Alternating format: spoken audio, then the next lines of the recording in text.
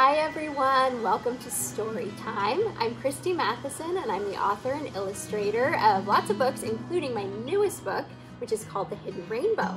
And we're gonna read that one today. I wish we could be reading it together in person uh, because I need your help when we're doing this. But the good news is you can help from wherever you are. If I need help brushing the snow off a tree or tapping something or touching something or doing anything, waving to some bees, you'll see when we read the book, you can just do it on the ground in front of you or in the air in front of you, wherever you are. So let's get started. This is the hidden rainbow. This, as you open the book, is a little map of a garden. It's a botanical garden, and this is where our story takes place. Hidden rainbow. One little bee peeks out to see a world of gray and snow. She's looking for bright colors, and she needs you to help them grow. First, please brush the snow off the budding camellia trees. Brush it off. You can help with that one. Look! The flowers are red and their nectar feeds two bees. Can you find the bees? Now it's time to do something else. Let's tickle the very tops of the growing tulip leaves. They're right over here. Very soon the bees will find orange. And can you see three bees? Next, point to the crocus shoots. Can you point to them? just beginning to sprout. Four bees are eating pollen now that yellow has come out. Now it's time to search for a special four-leaf clover. Can you find a four-leaf clover? I'll show you where it is. Right there. What luck! A field of green with five bees zooming over. Can you find all five bees? Please wave the bees back to their hive. Clouds are gathering for a shower. The bees don't like the rain, but it's important for the flowers. Blow the forget-me-not buds dry as the rain clears from the sky. The sun is shining, blue is blooming, and six bees are buzzing by. Next, trace a line straight down the orderly hyacinth row. Now seven bees are foraging in blooms of indigo. You're practically done. Now blow a kiss to the lovely lilac trees. Mwah. The violet blossoms are brimming with nectar for eight bees. Can you find the eight bees? All right, at last, get ready to find nine bees on the rainbow you grew.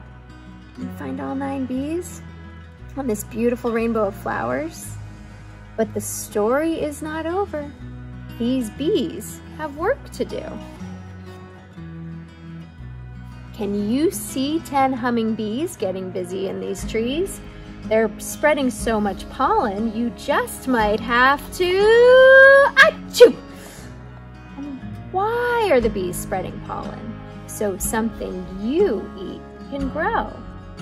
Thanks to the bees, soon you'll have your own delicious rainbow. Look, it's a rainbow of fruit with apples and peaches and pears and more apples and plums and blueberries and blackberries. The bees pollinated that for you. And if you read this book, you can learn a little more about bees if you read the pages at the end of the story.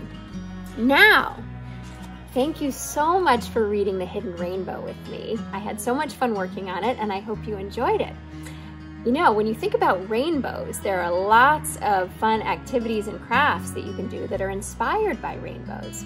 Right now, a lot of people are putting rainbows in their windows to say thank you to the healthcare workers and the other frontline workers who are helping us all so much right now. And we've done that at our house. But one thing we thought about when we were thinking about the hidden rainbow was what if we made new rainbows for our windows and made rainbows of flowers to put in our windows. And there are lots of different ways that you can do this.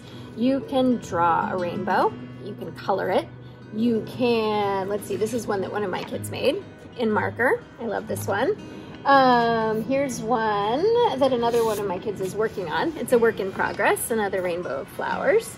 Um, you can collage it. You can cut out flowers. I kind of, oops, cut out some flowers that were inspired by the flowers in these books. A little bit, you know, you can make them look however you want. You can cut them out of construction paper or you can color paper and then cut them out. And you can make a rainbow of cutout flowers in your window. I think we, I'm gonna make a lot more flowers. This could take a long time or just a little bit of time depending on how much time you have.